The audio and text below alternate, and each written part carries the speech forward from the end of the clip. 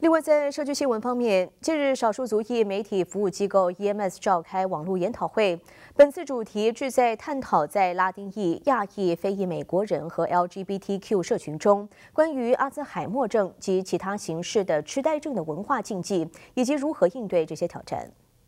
在会上，多位专家分享了他们在阿兹海默症前线的经历和见解。加州公共卫生部的鲁西亚·阿巴斯盖尔博士提到，阿兹海默症被正常化为家庭日常对话的一部分，是打破污名的重要一步。斯坦福大学的 Dolores Gallagher Thompson 教授分享了在华人社群中减少阿兹海默症耻辱的策略，即将其视为一种神经学疾病而非精神障碍。南加州大学的 Maria Aranda 教授强调了家庭和个人污名对拉丁族裔族群。寻找帮助的阻碍。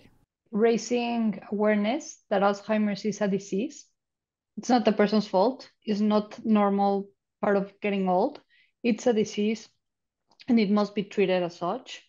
Open House San Francisco 的 Lune Crescenta 指出，有些属于 LGBTQ 族群的长者面临的挑战需要格外的关注和支持，以克服阿兹海默症相关的污名。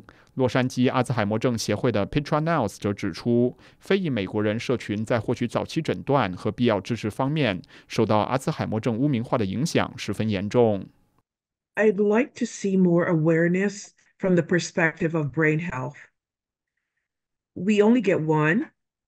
And so it's important that we reduce our risk in the ways that have been proven to be helpful, but also to be able to share local resources. Alzheimer's Los Angeles is a local resource. 会议上也强调了阿兹海默症的普遍性和影响力，并呼吁社会各界认识到这一点并采取行动。专家们共同呼吁，透过教育、支持和政策改变，民众可以一起建立一个更包容、更有同理心的社会，让那些受到阿兹海默症影响的人及其家庭能够获得应有的尊重和支持。凤凰卫视李汉琴洛杉矶报道。